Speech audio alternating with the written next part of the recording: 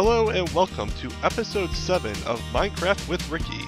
I've got a lot of exciting things planned today, so let's get into the next episode.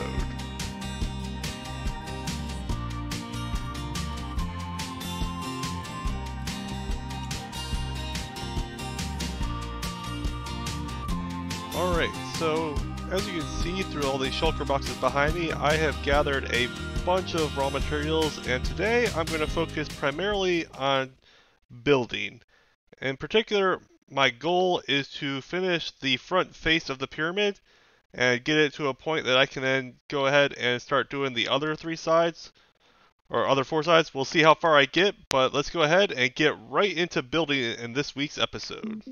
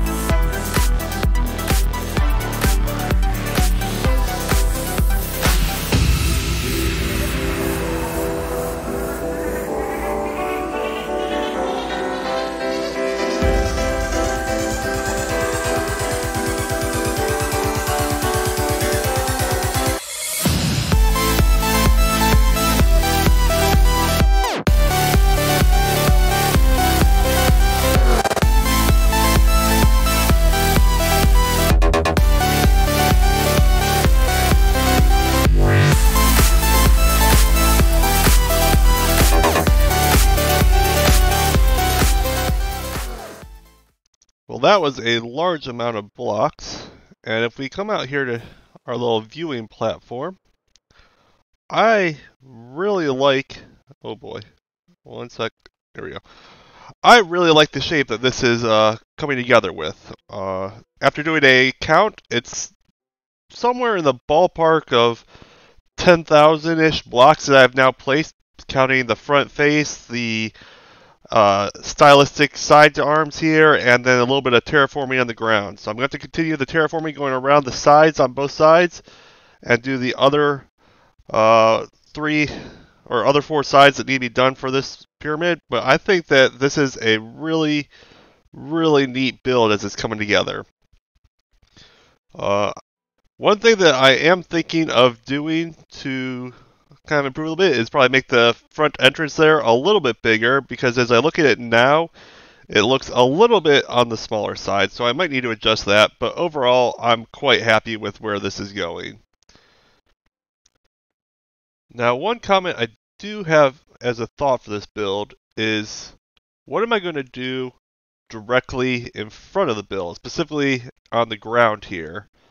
So I'm trying to come up with a design for maybe an obelisk or something to that regards here, but I would really like to know uh, everyone's thoughts on what I should put in front of the build to kind of go with the terraforming around it.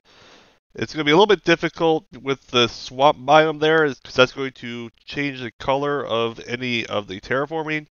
but I'm sure we could come up with something that's going to work and really look cool. So definitely let me know if you have any ideas of yourself with what I should add here.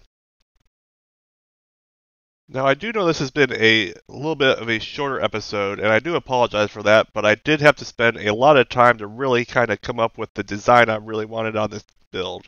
And I'm very happy with the shape and the texture we've got going on here. So if you like what you've seen so far or want to see some more, please hit that like and subscribe button. And thank you for stopping by. And until next time, this has been Minecraft with Ricky. See ya.